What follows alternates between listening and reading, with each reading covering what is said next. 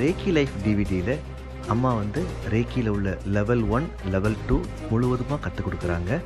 இதுக்கு டிஸ்டன்ஸ்லேயே தீட்சையும் கொடுக்குறாங்க. இதை பற்றிய விவரங்களுக்கு நீங்கள் உடனடியாக தொடர்பு கொள்ள வேண்டிய எண்கள் seven double three eight four eight four seven eight six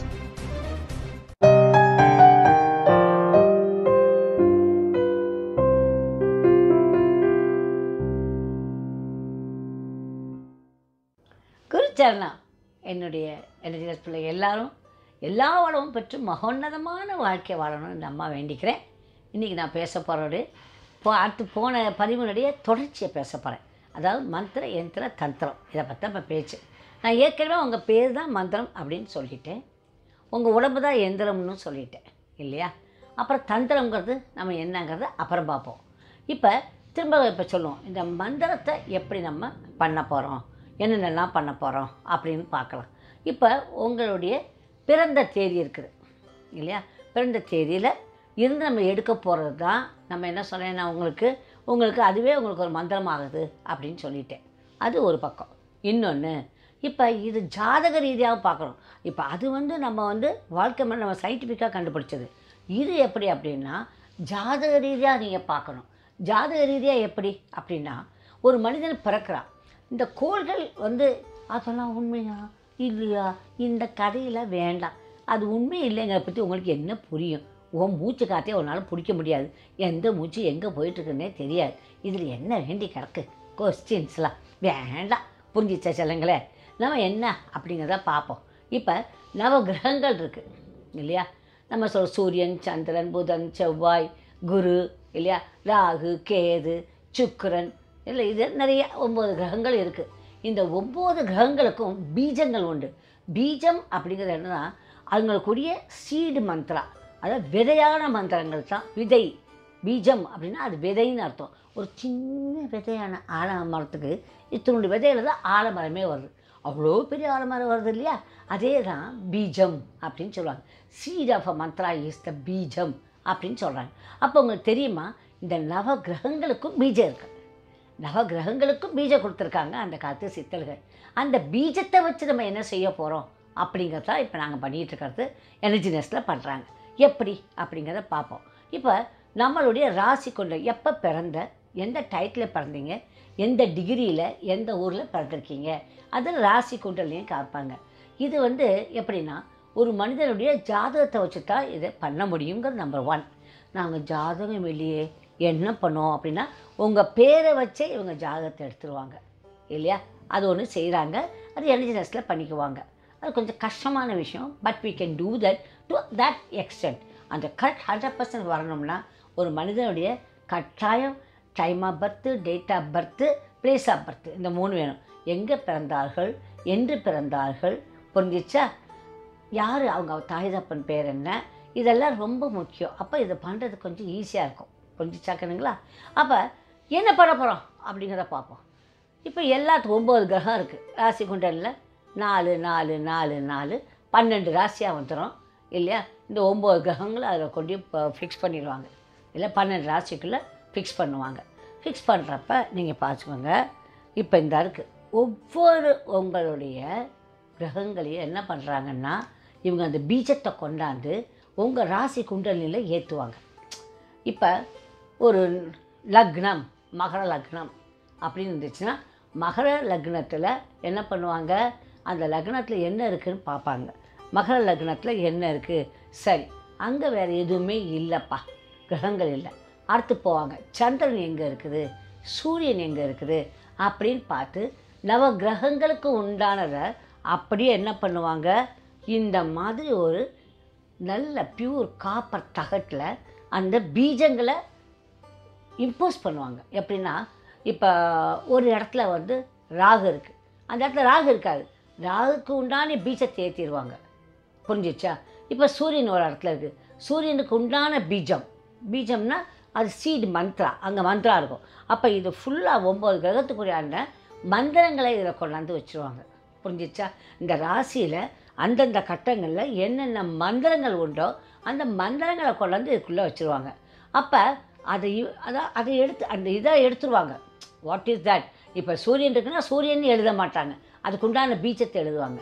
அப்படியே எழுதி அதுக்கு அதுக்குண்டான பீஜத்தை எழுதிட்டு நடுவில் உங்களுடைய ஃபோட்டோ ஓட்டுவாங்க இது எனக்கு பதினெட்டு வருஷத்துக்கு முன்னால் எடுத்தது. என்னோடது. நான் முத முதல்ல பண்ணிக்கிட்டது இது. பதினெட்டு வருஷம் ஆச்சு இதை எடுத்து. புரிஞ்சிச்சா? அப்போ இதை எடுத்து பண்ணிவிட்டு இதை வந்து இதை ஃபிக்ஸ் பண்ணிப்பாங்க. அடுத்து பின்னால் மயில் இறக்கை. மயில் ரெக்கையை எடுப்பாங்க. மயில் ரெக்கையை எடுத்த உடனே அதை கொண்டாந்து இதுக்குள்ளே வந்து வச்சுருவாங்க. வச்சு இதை வந்து லேமினேட் பண்ணிடுவாங்க. Super power. மயிலுக்கு வந்து அந்த பவருக்கு to give the power to that என்னது? இந்த செம்போடு சேரப்ப மயில் ரெக்கை வந்து நிறைய பவர் கொடுக்கும். அதனால தான் கிருஷ்ண பரமாத்மா பார்த்தீங்கன்னா நீல நிறம். இல்லை? வானுக்கும் கடலுக்கும் நீல நிறம். புரிஞ்சுதா? வந்து கிருஷ்ண பரமாத்மா ரைட் சைடில் வச்சுருப்பார். புரிஞ்சிச்சா? அதே போல் சிவனும் கண்டத்தில் நீளம்னு சொல்லி சிவனை நீளமாக காட்டியிருப்பாங்க. இல்லை இந்த மாதிரி இந்த நீல நிறத்துக்கு உண்டான மரியாதை நிறையா இருக்குது.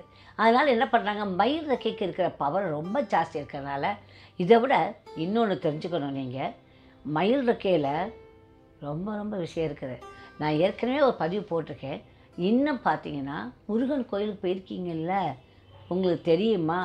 வடக்க பார்த்து முருகனை வச்சு முருகன்கிட்ட மயில் இருந்துச்சுன்னா அது இந்திரன் வடிவம். மறந்துடாதீங்க. அது இந்திரன் வடிவம். இதை தெக்க பார்த்து அந்த மயில் நிற்கிற மாதிரி இருந்துச்சா அதுதான் அந்த அசுரனுடைய இது அசுரனுடைய வடிவம். இல்லையா? அவர் சூரசம்ஹாரம் பண்ணார் இல்லையா?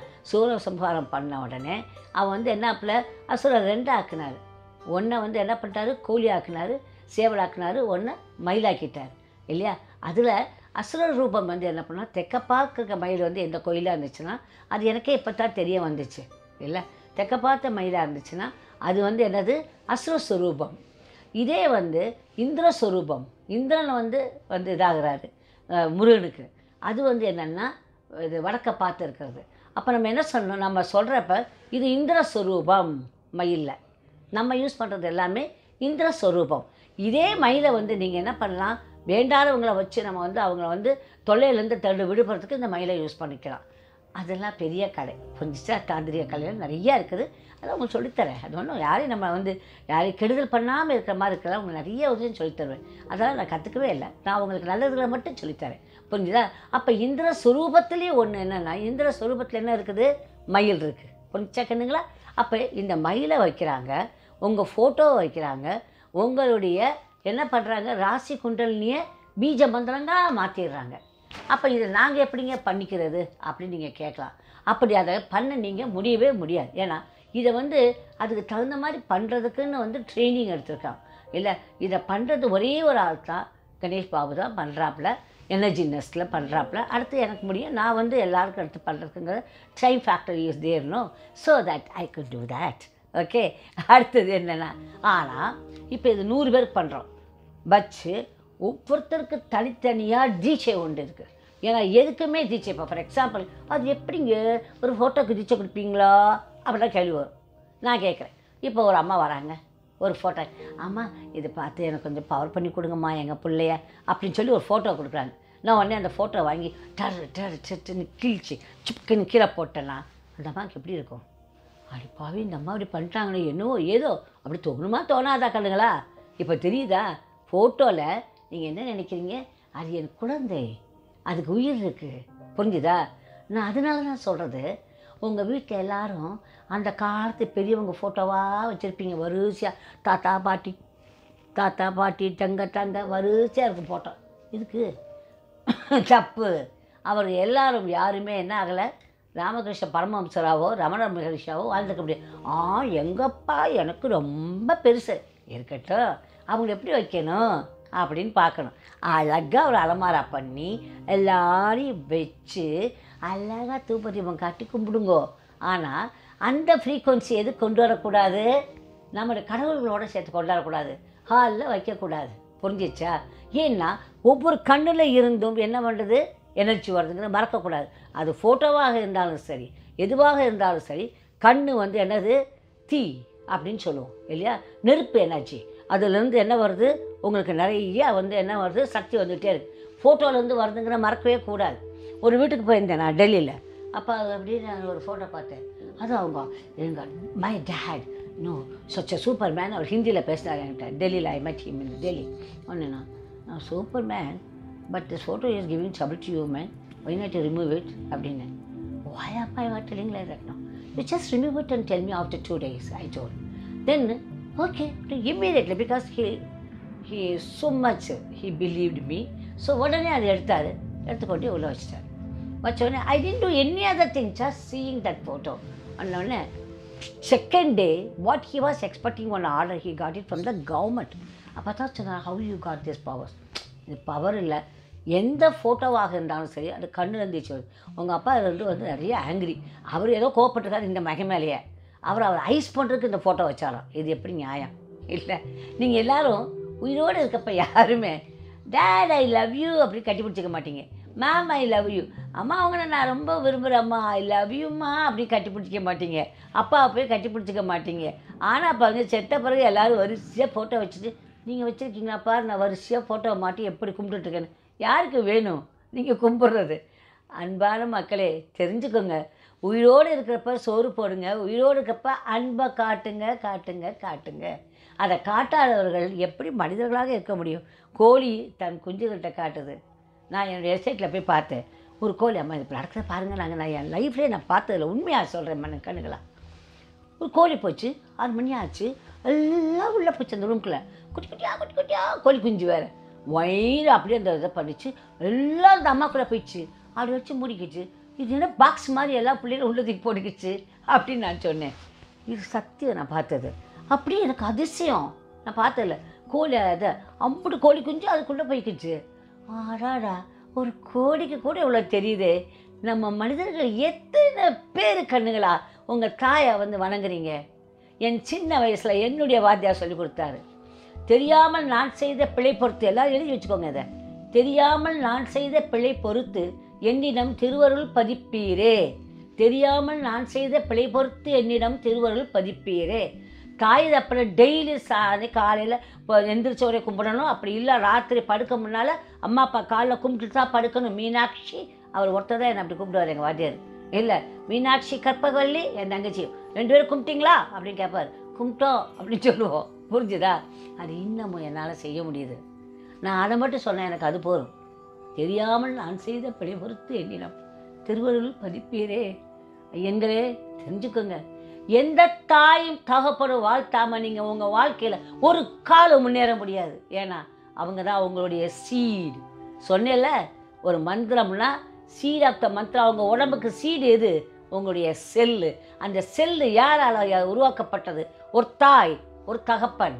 ரெண்டு எக்ஸு அட்ட ஒரு எக்ஸ் ஒய் கரெக்ட் உங்கள் ஜீன்ஸில் இருக்கு இல்லையா? அதுதானே? புரிஞ்சுதா கண்ணுங்களா? அதுதான் நீங்கள் அப்படி இருக்கிறப்ப அதுக்கு மரியாதை கொடுக்காட்டா எப்படி? ஒன்றும் பண்ண வேண்டாம். நல்ல வார்த்தைகள். நல்ல வார்த்தைகள். அம்மா அப்பா கொஞ்சம் இந்த காலத்துக்கும் அந்த காலத்துக்கும் நிறைய வித்தியாசம். அதில் வேற அதான் நாங்கள்லாம் வந்து யுகங்களே மாறி போயிடுச்சு. யா லேட்டஸ்ட்டு என்னங்கடா லேட்டஸ்ட்டு என்னன்னாலும் நீங்கள் வாயில் தான் சாப்பிடணும். கீழே தான் பாத்ரூம் போகணும். இது என்ன வேண்டி கிடக்கு? அன்புங்கிற ஒன்றுக்கு முன்னால் இந்த உலகத்தில் அத்தனையும் அடக்கம். பாசத்துக்கு முன்னால் அத்தனையும் அத்தனையும் யுகங்களும் அடக்கம். புரிஞ்சிச்சா கண்ணுங்களா? நீங்கள் வேறு ஒன்றுமே செய்ய வேண்டாம் கண்ணுங்களா? தாய் தப்பனுக்கு சோறை போட்டவங்க நல்லா வச்சுக்கோங்க. நீங்கள் அமெரிக்காவில் போய் சம்பாதிச்சாலும் சரி ஆப்பிரிக்காவில் சம்பாதிச்சாலும் சரி ஆஸ்திரேலியாவில் சம்பாதிச்சாலும் சரி what's a purpose in it when you cannot see your thing உங்கள் சீடே நீங்கள் கவனிக்கலை. சீடுக்கு தண்ணி ஊற்றி நல்லா வச்சா தானே அந்த மரம் நல்லா வரும்? இல்லையா? உன்னுள் கலந்தது உன் தாய் தகப்பன். மே கரெக்டாக நாட் மை லவ்லி சில்ட்ரன் செல்மி மை லவ்லி சில்ட்ரன் இல்லையா? நீங்கள் தாய் தகப்பன் தானே நீங்களே. அப்போ அந்த அந்த சீரை நீங்கள் கவனிக்கணும்ல? அதுக்கு தானே இதெல்லாம் நிறைய பணம் சம்பாதிங்க. நல்லா இருங்க. தாய் தப்பனை கொஞ்சம் கவனிச்சிருங்க. அது ரொம்ப ரொம்ப அவசியம். இது நான் அட்வைஸாக பண்ணலை. That's a reality I'm telling அதுதான் எனர்ஜி அந்த எனர்ஜியை கொடுக்கறதுக்கு தான். மற்றது எல்லாம் பண்ணிவிட்டு மொத்தத்தை அதை கோட்டை விட்டுறாதீங்க. ஓகே ஓகே ஓகேவா ஐ லவ் யூ நோ சரி இப்போ இந்த எந்திரத்தை எப்படி பண்ணுறோம் உங்கள் ஃபோட்டோ இது ரொம்ப வருஷம் ஆச்சு.